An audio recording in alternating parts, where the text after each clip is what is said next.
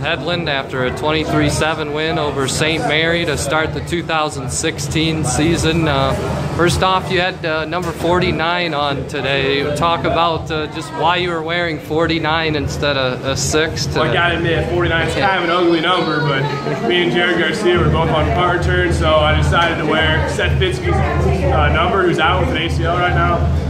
I mean, no one else is going to be wearing it since he's out, so I decided to take a hit and wear his. You're part of a, a, defense that ranked in the top five in the country last year, of high expectations again this year. Uh, how do you assess what you guys were able to do today? Uh, I feel like today was a sloppy day overall, uh, but it was time to go against someone else to see where we're lacking and where we need to pick up. Overall, we got the guys to do it this year, and we just, we just got to keep getting better. you, you can get those guys back later. but uh, last thing, uh, getting a win season opener, uh, how good does it feel just to be able to open the season like this? It feels good. It's always good to start off with a win, especially when it's your last year playing. So it was good.